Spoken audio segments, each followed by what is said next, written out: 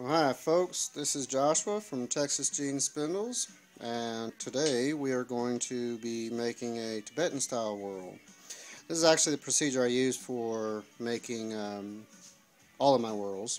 Doesn't matter Tibetan or top whorl or sometimes bottom whorl.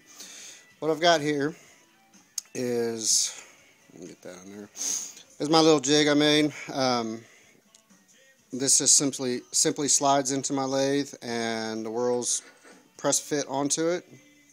So we're going to set that in there and uh, give it a couple little taps to seat it. Now I also use this uh, little wooden ring.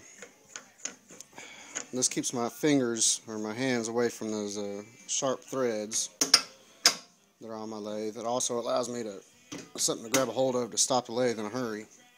So, we got that on.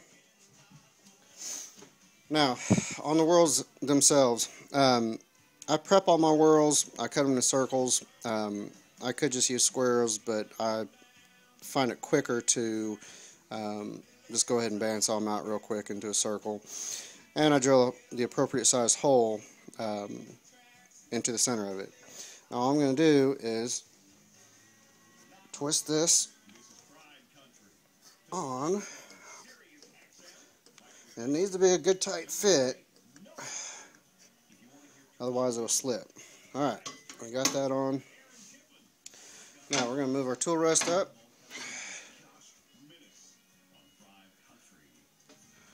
Try to get a little bit better light on here. Alright, I'll flip the lathe on. The important part right now is that my hole is spinning on center, which this one has just a tiny bit, tiny bit isn't. So, usually give it a little twist or two, and that feels lots better. I'm just feeling that the hole is uh, spinning on center. Now we're going to take um, one of my very favorite tools. Uh, it's called Sco Scoochie Gouge and we're going to go ahead and clean up the top and shape it.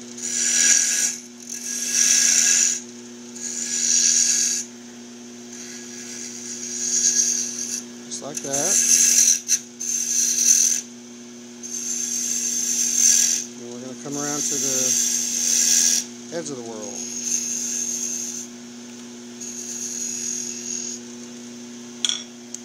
We get the top part shaped, to move my tool rest.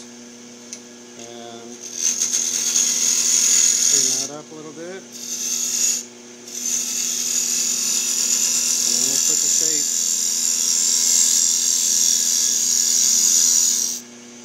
The shape into the uh, edge of it.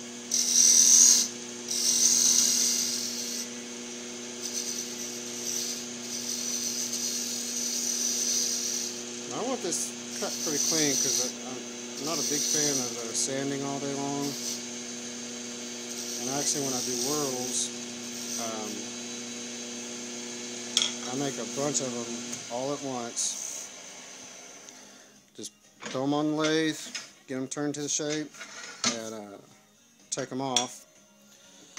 And then I get comfy, pull up a chair, and sit down and start sanding all of them all at once. So another thing that this little wooden ring does is since this is such a tight fit, this is actually going to help me press this whorl off here just by unscrewing the, the uh, collar here.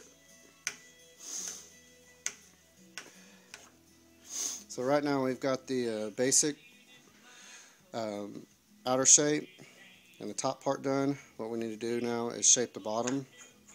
So we'll screw that back on.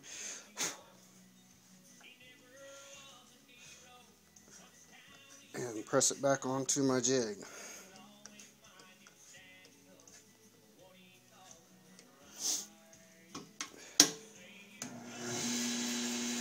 And we're still spinning on the same axis. We're still nice and true.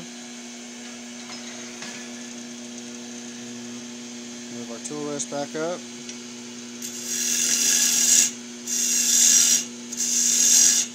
take this down.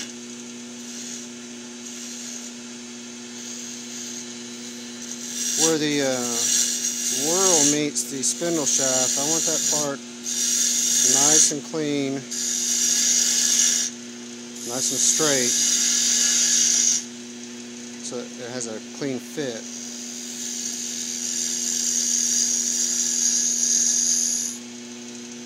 So we'll just do a little bit of that.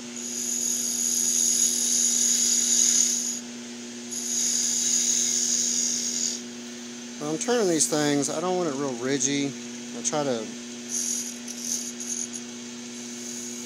get a nice, smooth lines during the turning process because that's going to greatly shorten the sanding process. If I'm having to sand out a bunch of flaws, it takes a long time. So, what I've done here is just put a little kind of a glue relief on the inside. I'm just going to angle it just a little bit and uh, that is it. Go ahead and pop it off the lathe. And I'm not going to bother with sanding right now. Y'all can use your imagination.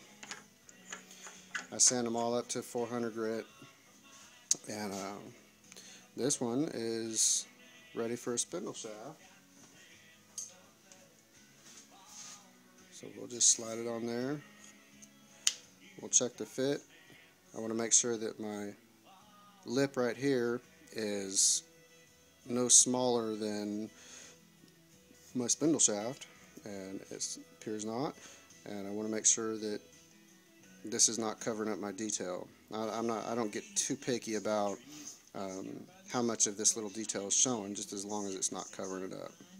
But there you have how I uh, make a Tibetan style whorl or a top whorl. Um, hope you uh, enjoyed it. And thanks for watching.